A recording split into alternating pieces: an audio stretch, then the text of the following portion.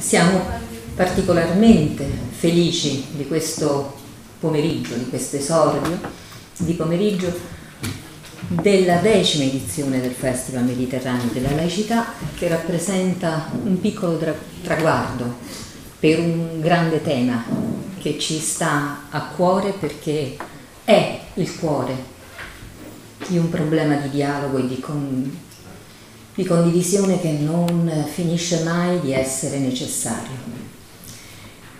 E nel ricordarvi che il tema di quest'anno è quello che abbiamo scelto perché proprio segna anche una rivoluzione di questo nostro periodo storico, che è quello dell'offerta e della scoperta del web.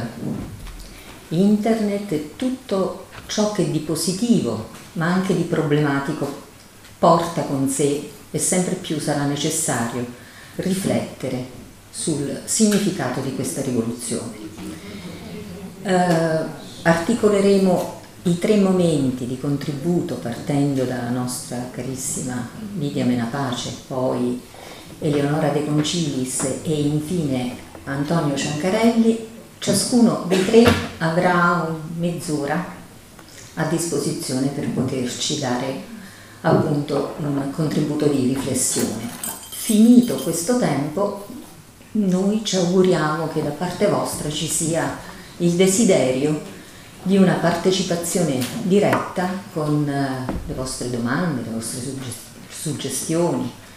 E quindi questi sono i tempi, questo è il tema e questi sono i nostri ospiti. Lascio a Michele Neomartino di presentare in maniera adeguata una carissima amica e un, veramente un, un faro nella nostra, nella nostra vita civile, sociale e anche di genere. E poi a seguire gli altri amici che parleranno. Grazie. Grazie. Grazie. Io vi guardo.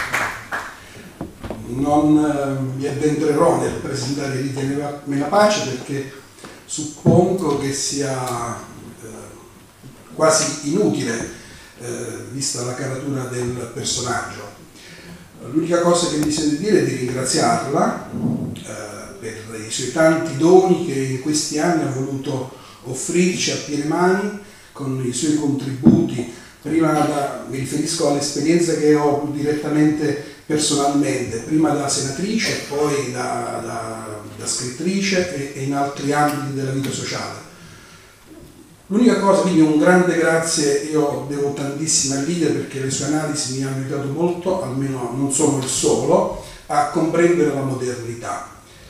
Di lei dico una cosa sola, che non c'è, eh, uso un'espressione forse non adeguata per una pacifista come, non violenta come Lidia, non c'è battaglia, non c'è lotto del secondo Novecento, ma veramente tutte, che non abbia visto Lidia in prima persona spendersi come sa fare solo lei, con una passione, una dedizione uniche e rare. Grazie Lidia. Eh,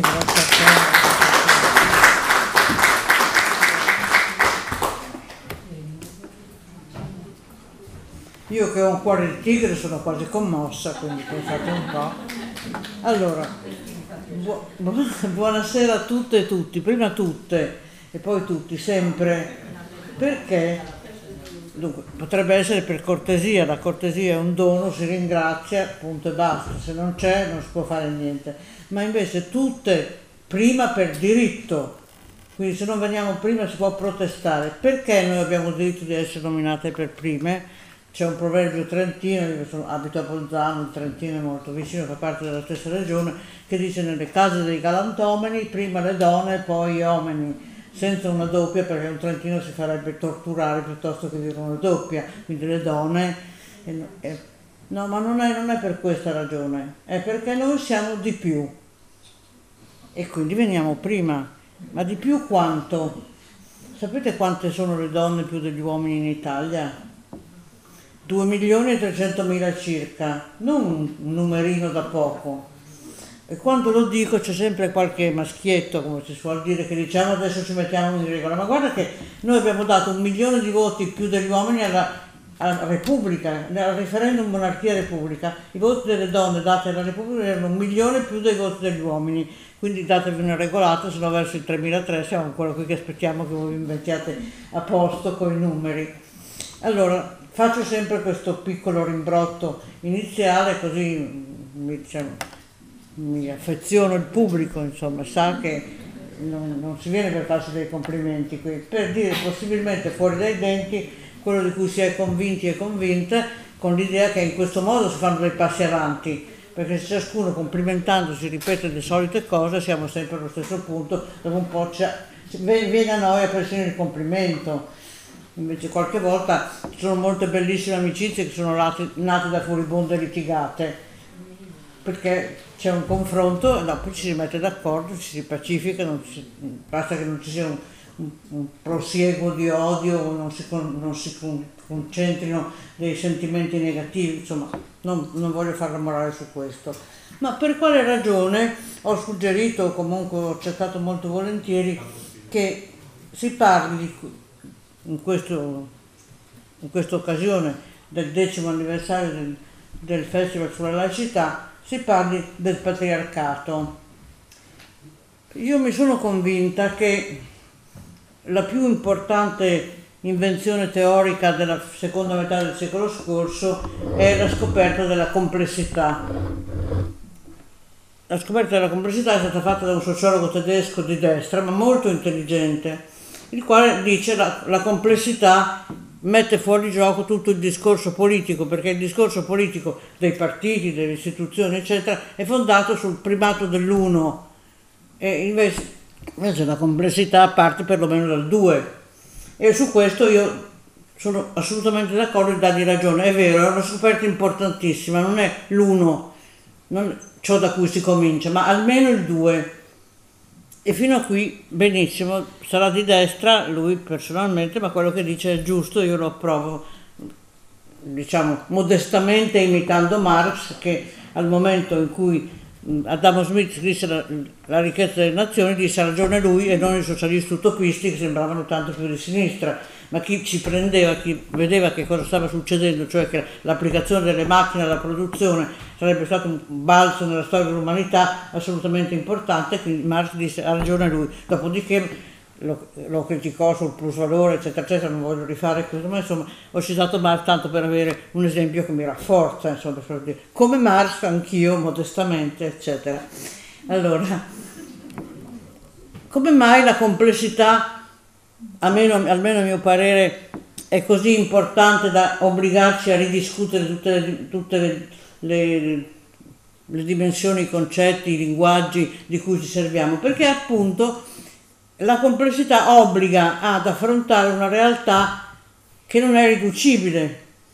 Tutta, tutta la storia del pensiero umano, in particolare quella dell'Europa che è nel, sul pianeta un piccolo spazio, lo, un piccolo spazio di, di, luogo e anche temporalmente non è più, cioè sono dei popoli più antichi di, di noi, però ha un significato particolarmente importante perché dall'Europa vengono tutte le lingue culturali del mondo. Le più importanti lingue culturali del mondo sono nate in Europa. Prima il greco e il latino, poi il latinorum, cioè il latino ecclesiastico come lingua diciamo tendenzialmente universale e poi anche l'inglese, il tedesco, l'italiano, il francese, lo spagnolo, il portoghese, pensate un po', sono tuttora delle lingue importantissime in tutto l'universo e quindi questa cosa è molto importante nella storia del nostro piccolo continente. Questo, questi linguaggi sono tutti influenzati dalle tre grandi religioni monoteiste, ebraismo, cristianesimo e islam, e sono tutte e tre sono sviluppate dal bacino del Mediterraneo in fuori e che hanno segnato moltissimo la storia, perché il fenomeno religioso, anche magari un po' indefinibile, anche incerto, anche, però è certamente un fenomeno che ha coinvolto tutti i popoli in tutti i luoghi, in tutti i tempi noi ne abbiamo memoria, in particolare si è consolidata questa, questo primato delle tre grandi religioni monoteiste che sono considerate le tre più evolute che esistono al mondo. E il, diciamo, il principio, il suggerimento che da, da, da, questo uso delle religioni monoteiste arriva al mondo laico, alla cultura, alla scuola, alla, alla ricerca è che l'uno è il meglio di tutto. Il monoteismo infatti segna, segna queste tre religioni. Allora, che l'uno sia il meglio di tutti, di tutto a me non va tanto a genio, anche perché se uno è maschio, questo mi dispiace due volte, perché l'uno riduce tutto quanto e riduce a un soggetto che mi esclude, cioè quello lì e poi eventualmente arrivo io, generalmente non mi si cita nemmeno, tant'è vero che io ho dovuto ricordare che bisogna sempre dire buonasera a tutte e a tutti, se no avrei sentito dire come quasi sempre buonasera a tutti, punto, fine. Noi che siamo le donne, anche qui le donne sono più degli uomini, palesemente, visibilmente, saremmo state non citate, nemmeno ricordate, nemmeno la nostra esistenza insomma viene ricordata. Poi dice vabbè ma cosa importa? Ma allora vi dirò che non sapete perché c'è questo uso grammaticale. I grammatici dell'umanesimo del 1400, volendo trovare nell'italiano la terza classicità, dopo quella greca e quella latina, facevano, usavano mettere a confronto queste tre lingue e scoprirono che l'italiano era molto ricco, ci sono delle, delle ricerche per dimostrare che per una parola latina ce ne sono tre italiane, eccetera, eccetera, ma ripassando le, le regole ne fissarono una, le regole grammaticali sono molto spesso più aspre e tenaci dei dogmi. Questa regola, per esempio, che dice in italiano nelle concordanze prevale il maschile, nessuno la sposta, eppure il verbo prevalere non è molto democratico, perché prevale.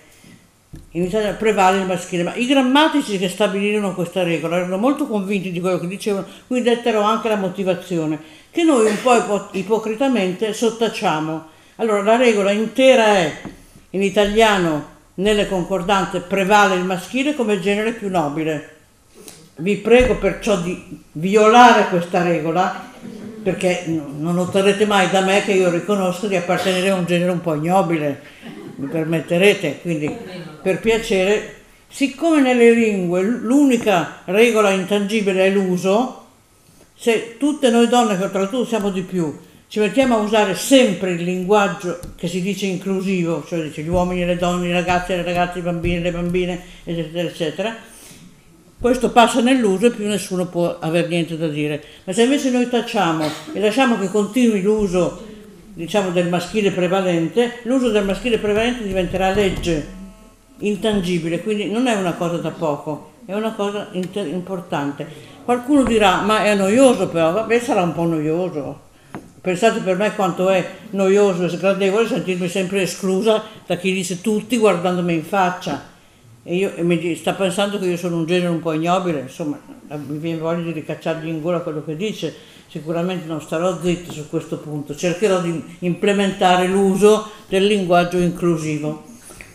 Non è che mi sono persa per strada, ritorno su quello che devo dire, perché il fatto che si parli molto in questo momento di difficoltà generali, ma che però si, si presume, si preannuncia che stanno per finire, la frase stiamo per uscire dal tunnel, la crisi sta per finire, a me fa venire, voglia di, fa venire voglia di chiedere ma di che crisi si tratta? Crisi di che? dicono a Roma. E bisogna rispondere prima di tutto crisi di che? Che cosa è in crisi? Io credo che sia in crisi il capitalismo. Questo si sottace, si dice la crisi, ma non si dice che cosa è in crisi. Allora, il, il, capitalismo è in crisi dopo circa tre secoli e mezzo di crescita, di superamento del feudalesimo appunto da parte del capitalismo, di maturazione del capitalismo, di nascita nel suo interno della socialdemocrazia, di forme di antagonismo, eccetera, eccetera, e a questo punto di una crisi capitalistica che molti economisti, sociologi, eccetera, dichiarano strutturale il capitalismo passa sempre attraverso crisi congiunturali, fa parte della sua caratteristica, questo non lo nega nessuno, ma le crisi strutturali sono invece molto più rare. Quella più importante è stata nel 29, 1929, la crisi famosa da cui si uscì col, col keynesismo, ma si uscì nel senso che si uscì rimanendo nel capitalismo, ma trovando come si poteva rimediare.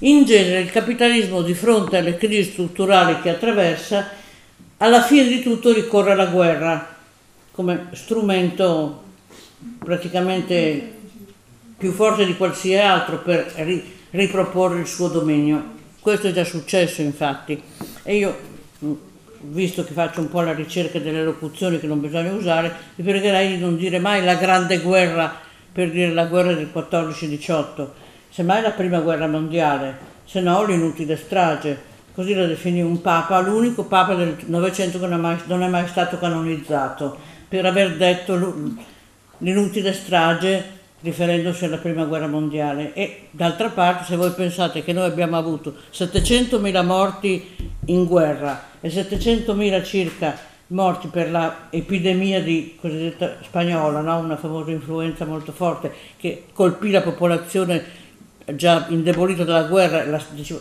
abbiamo avuto 1.400.000 morti per conquistare sì e no 350.000 persone, le quali non erano nemmeno tutte d'accordo che fosse particolarmente importante passare sotto l'Italia, perché non erano d'accordo sicuramente su tirolesi bolzanini, ma anche parecchi triestini non erano d'accordo, preferivano che Trieste rimanesse il porto di tutta l'area danubiana piuttosto che non diventasse un minore porto dell'Adriatico e solo per l'Italia. Quindi come vedete anche tutte queste locuzioni vanno assoggettate a una visione critica, a un atteggiamento critico.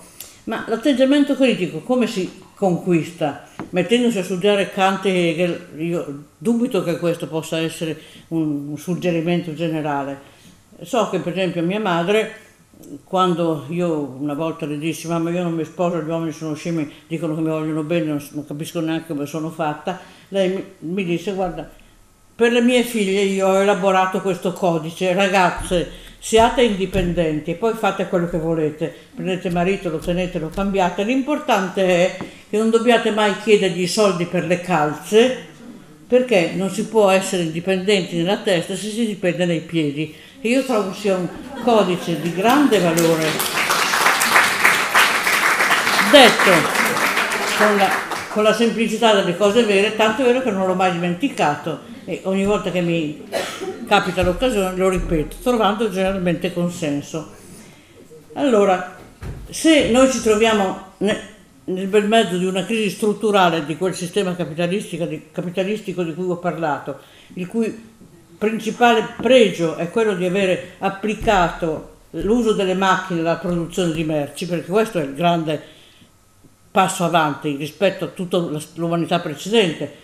L'invenzione del telaio meccanico e della macchina a vapore cambiano le condizioni di vita perché le lenzuola fatte col telaio meccanico sono molto di più, costano di meno, durano di più delle lenzuola tessute a mano. E lo stesso vale per il mezzo di trasporto del treno che diventa il primo mezzo di trasporto democratico, perché fino a quando si va o a piedi o a cavallo, chi è povero non può competere con chi è ricco, mentre se c'è il treno ci sarà la prima, la seconda la terza classe, più o meno comode, ma si arriva tutti insieme, si parte tutti alla stessa ora, si arriva tutti alla stessa ora, quindi la velocità e la distanza sono, diventano pari, è una grandissima forma di eguaglianza sul rapporto col territorio, non è una cosa da poco, non è un particolare di, di poco conto. Allora, se siamo nel bel mezzo di una crisi di un sistema così, del quale ho accennato solo rapidissimamente, solo il pregio principale che è quello dell'applicazione delle macchine alla produzione, che cosa può succedere dalla sua crisi? Visto che molti economisti sostengono, ammettono, convengono che questo sistema è in crisi. Cosa vuol dire crisi? Come sapete questa parola viene dal greco, c'è il verbo krinein che vuol dire giudicare, quindi crisi, crisi vorrebbe dire un momento di giudizio, un momento di dubbio, un momento di incertezza, in cui c'è una specie di spaccatura, in una specie di, di continuità del pensiero. Dice no, qui c'è un punto che non si capisce, crisi. Allora questa crisi viene detta strutturale, vuol dire che riguarda il meccanismo fondamentale, non è un aspetto particolare. Se c'è una crisi strutturale di questo sistema bisognerà sapere come, come replicare. E qui invece casca l'asino come si suol dire proverbialmente, cioè quasi tutti dicono semplicemente c'è la crisi, c'è la crisi, sta per finire, c'è, c'è la fine del tunnel, vengono adoperate immagini un po' così semplificate ma anche poco significative e tuttavia questa crisi non finisce mai. perché in effetti, siccome in crisi è il meccanismo strutturale, il meccanismo fondativo del sistema, non è possibile che finisca così semplicemente. Addirittura c'è chi ha studiato che cosa può succedere se non si fa niente, perché qualcuno può dire, vabbè, sei in crisi, basta stare fermi e finirà da solo, insomma, se non si interviene. Invece no, Rosa Luxemburg ha studiato molto per l'appunto il capitalismo la sua crisi, dice che nel momento in cui la crisi diventa veramente strutturale, il capitalismo non è più riformabile. Dunque, i dibattiti su quello lì è riformista, quello lì meno, io con quello ci sto, non so, sono assolutamente infondate senza alcun significato, perché tu puoi batterti contro il riformismo, ma tanto il riformismo è impossibile, quindi molto meglio trovare qualche cosa, quindi dicevo aspetto, no, perché se aspetti, Rosa Luxemburg appunto, non solo lei ma lei in particolare, ha trovato che il meccanismo del capitalismo in crisi non reversibile, se non tu, cominci, tu non cominci a costruire l'alternativa, passa alla barbarie. Socialismo o barbarie è un famoso dilemma che appunto a lei si attribuisce, nel senso che se tu lasci andare la crisi capitalistica per, per conto suo, non fai niente, la, la guardi passivamente, questa crisi non produce il superamento del capitalismo, produce la barbarie non c'è bisogno di dimostrazione di socialismo neanche l'ombra, da barbarie basta aprire gli occhi, ti, ti salta addosso addirittura. Allora che fare? A questo punto c'è qualcuno che ripropone una qualche ricetta unificante. Facciamo così, facciamo questo governo, facciamo questa legge elettorale, facciamo tutte risposte straordinariamente piccole, modeste, anche un po' meschine di fronte alla grandezza della crisi che vediamo. Io quasi sono stupita che sta succedendo quello che sta succedendo e gli schermi televisivi italiani stanno occupati serate intere a discutere se aveva ragione eh, Renzi o un suo tirapiedi a dire una cosa, contraddire l'altra. Stupidaggini veramente, cose che persino a me che sono allenata alla stupidità... Eh, non, non, mi, non mi riesce di arrivare in fondo, spengo lo schermo televisivo proprio quando ci sono i, i, talk show, le cose più importanti politicamente che la nostra televisione sembra inventare per annoiare le nostre serate. Ma allora che fare davvero? Di questo magari possiamo parlare anche discu- discutendo poi, ma l'importante è che ci si renda conto che quando un sistema così impegnativo come il capitalismo diffuso su tutto il pianeta, in crisi strutturale, si trova appunto in condizioni di non poter più essere riformato, bisogna cominciare a costruire l'alternativa. Che cosa può essere l'alternativa? E ci sono indicazioni che sia il momento di cominciare a studiarle. Le indicazioni ci sono, perché per l'appunto o socialismo o barbarie o l'alternativa o noi assistiamo passivamente a venire avanti la barbarie. Ed è una barbarie che fa paura non solo per i rapporti interpersonali che si incattiviscono, sono retti dalla vendetta, da sentimenti neri, opachi, meschini, scuri, ma addirittura per il fatto che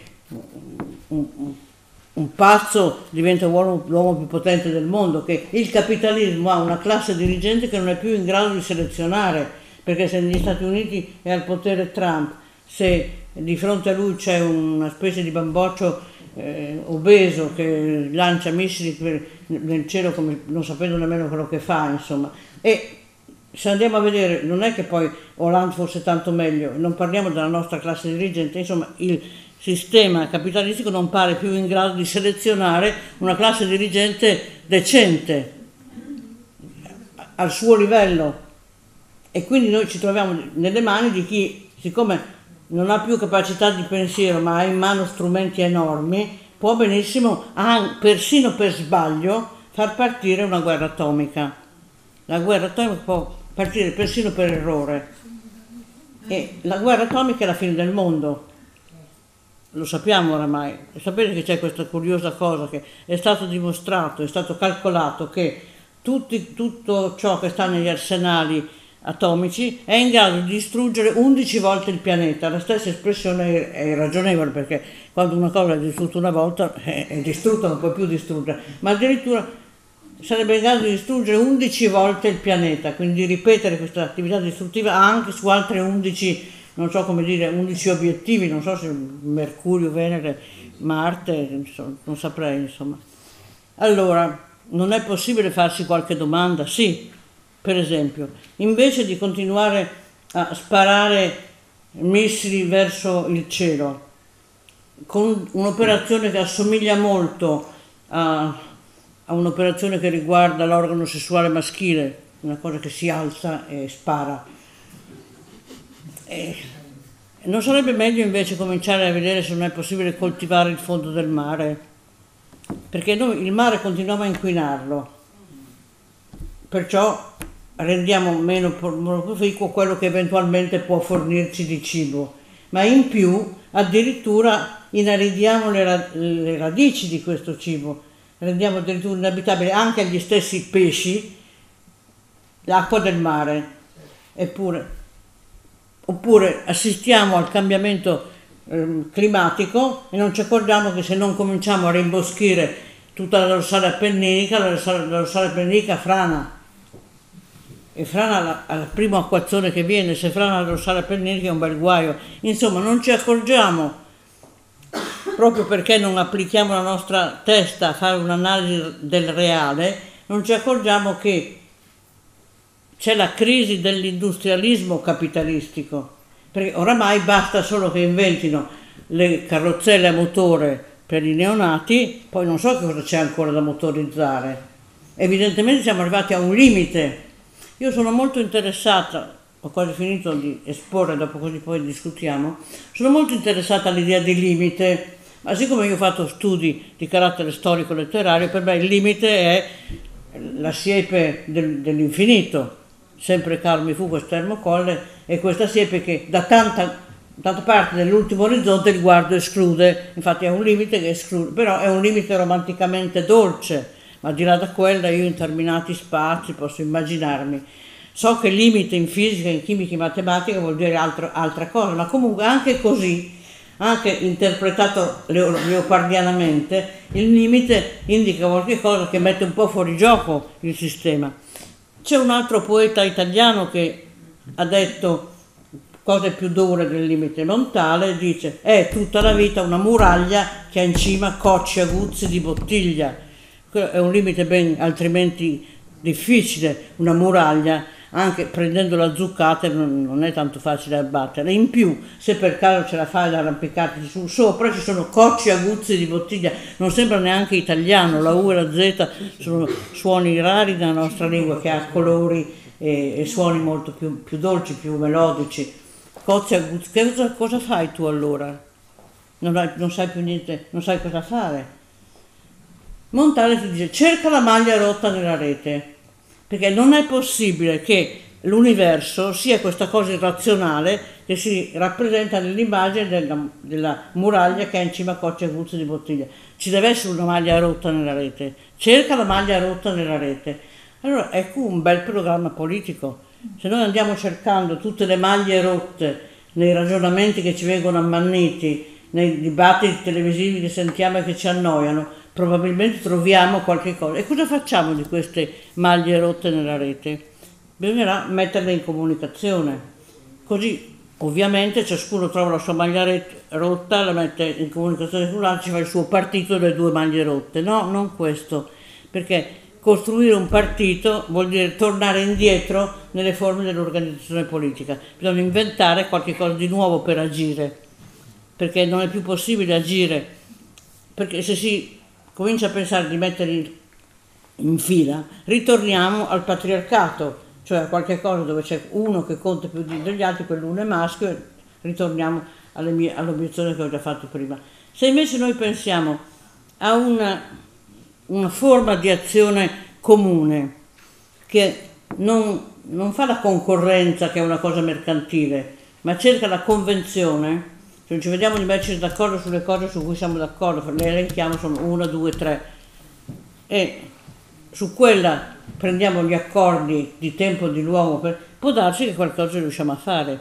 E mettendo insieme molte reti e connettendole, facendo una convenzione, in questo modo riusciamo a intervenire nell'azione politica senza ripetere le forme mercantili che il capitalismo per di più in crisi ci suggerisce. Bisogna trovare altre forme. E dove si trova il modello di questa diversa azione politica?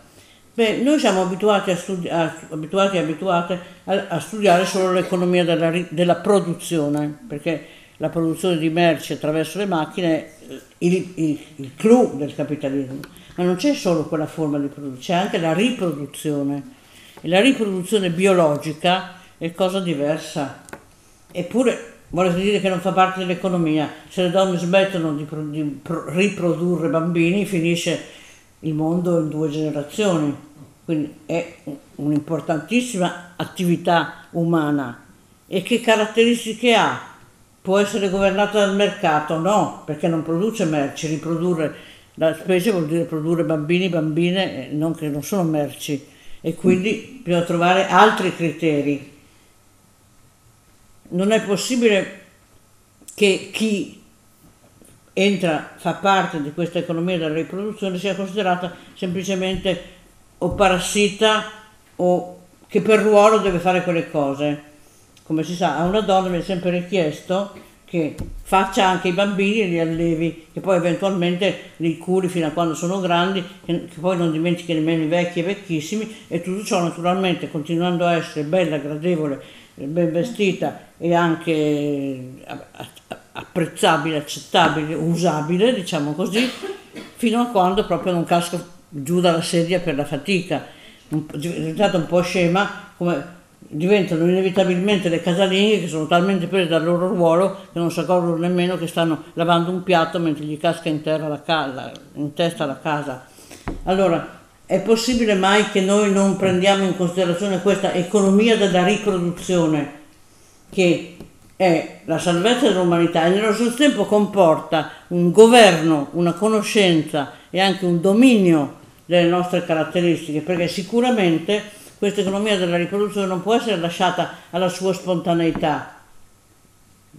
Sapete, c'è questa legge, diciamo, religiosa tutti, tutti, i bambini che vengono concepiti, i bambini e le bambine che vengono concepiti devono essere lasciati nascere, bisogna intervenire prima, bisogna regolare la riproduzione, questa è una cosa fondamentalissima, deve entrare nel codice etico di ciascuno e ciascuna.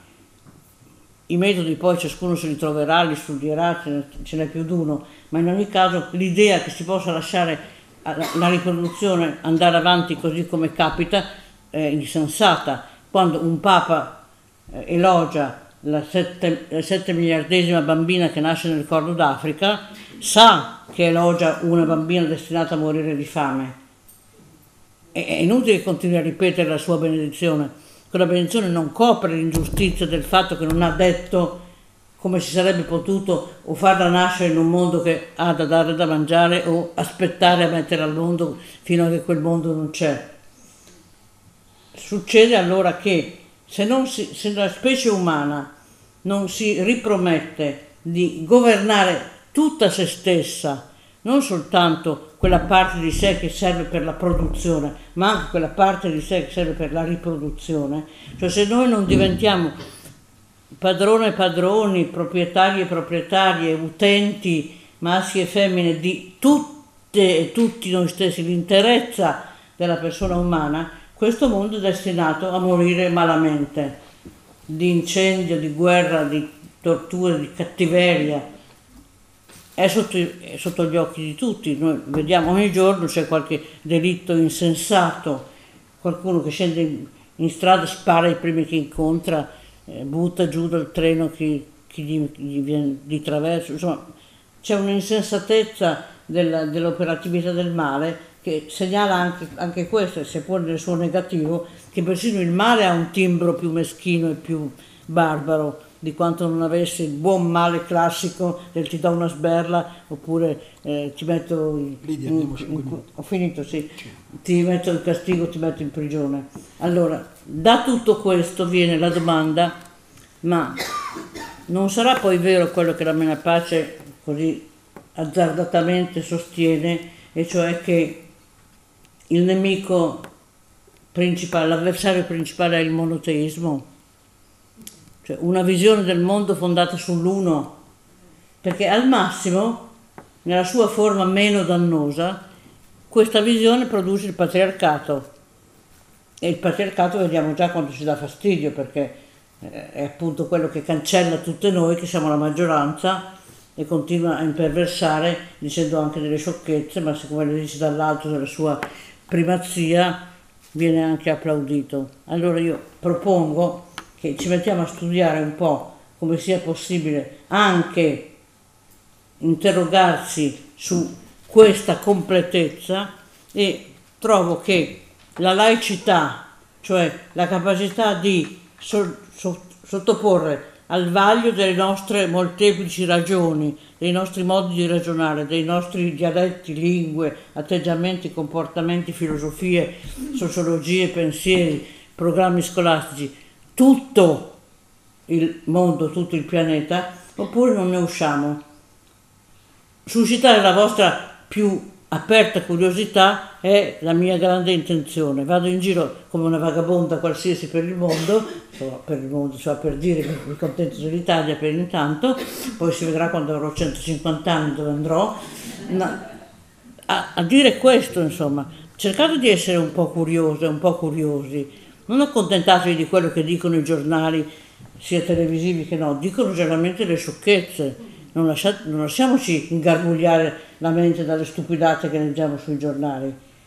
Anche un, una bella risata e uno sberleffo molte volte sono una cosa più intelligente di un ma guarda un po' e cosa è successo lì. Io vado in giro appunto cercando di tenere viva la curiosità, che è un segno di intelligenza, e anche una azione politica appassionata, ma non miserabile. Io non sono una che mi sacrifico, mi sacrifico. No, no, no, no. I, sacrifici vengono già da soli, non c'è bisogno di inventarli. Io preferisco, sono eh, una che va intorno a predicare la via alcolica al socialismo, per esempio, se si parla di socialismo, che sia accompagnato anche non dall'alcolismo, ma da, da, un, da, un, po', appunto, da un po' di buone bevute, sì, perché no? Da qualche sberleffo anche, da qualche battuta, perché dobbiamo sempre essere lì col muso lungo? Dice, imitateci, ma, ma come imitarli? Siete brutti come il demonio, tristi come una giornata di pioggia, perché dovremmo imitarvi? Sarebbe molto meglio che dessimo anche dimostrazione, si può essere molto impegnata e impegnati politicamente, addirittura rivoluzionari o pre-rivoluzionari, io sono convinta che siamo in una situazione pre-rivoluzionaria, senza nemmeno avere il muso, anzi possibilmente ridendoci anche un po' su. Così spero che facciate anche voi, vi ringrazio dell'ascolto. Uh, ora uh, c'è il secondo intervento e poi alla fine con le domande.